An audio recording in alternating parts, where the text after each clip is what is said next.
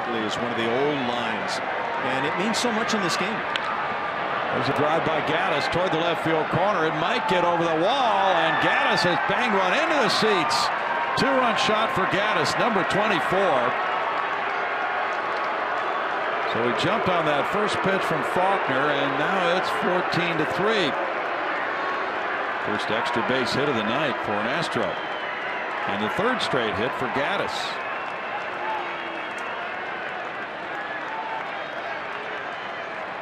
Get them while you can. Get hot if you can. Help your club to a victory coming up. Look at that one-handed swing. Not the typical one-handed. The top hand stand, stayed on.